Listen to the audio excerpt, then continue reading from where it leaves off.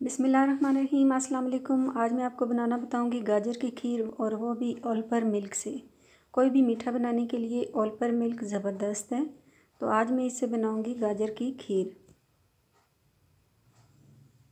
तो एक किलो गाजरें मैंने ले लिए इनको धोकर अच्छी तरह साफ़ कर लिया है और फिर इनको मैंने कद्दूकश कर लिया है। ये एक किलो गाजरें हैं। दो मुट्ठी चावल या आधा कप के करीब चावल लेकर मैंने दो से तीन घंटे के लिए भगो कर रख दिए थे और ये इतने नरम पड़ गए थे कि इनको मैंने हाथ से चूरा कर लिया अब ये चूरा किए हुए चावल भी इसमें डाल देंगे। और चार गिलास के करीब हम इसमें पानी डालेंगे या फिर इतना पानी डालेंगे कि चावल अच्छी तरह इसमें सॉफ्ट हो जाएँ।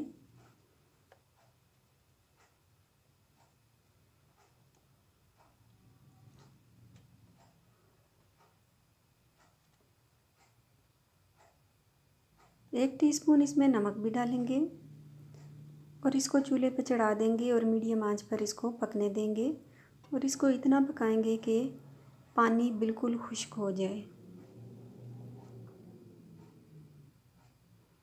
अब इसका पानी बिल्कुल खुश्क हो गया है और जो चावल में कसर रह गई है, वो दूध डालने के बाद पकने में पूरी हो जाएगी। तो अब मैं इसमें अल्पर मिल्क का एक लीटर वाला पैक डालूँगी।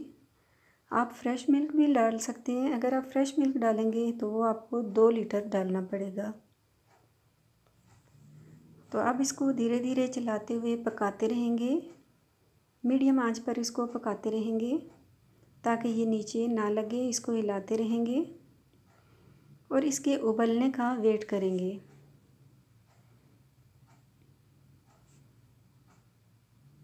जब इसमें बॉयल आ जाएगा तो उसके बाद हम इसमें आठ से नौ दाने इलायची के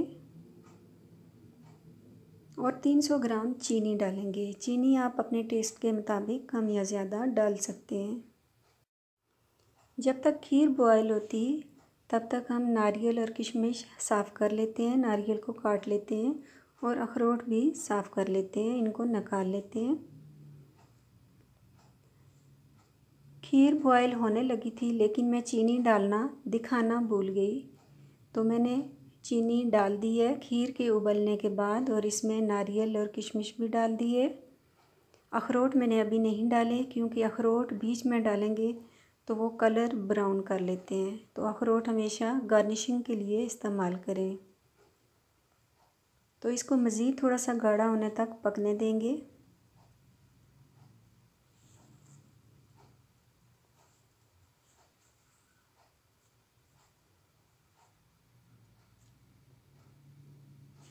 खीर बनकर रेडी है। बहुत ही कम वक्त में खीर तैयार हो गई है और बहुत ही ज़बरदस्त खीर बनी है। अगर आपको मेरी ये वीडियो पसंद आई है तो प्लीज़ मेरी वीडियो लाइक करें शेयर करें कमेंट्स करें और काइंडली मेरा चैनल सब्सक्राइब करें।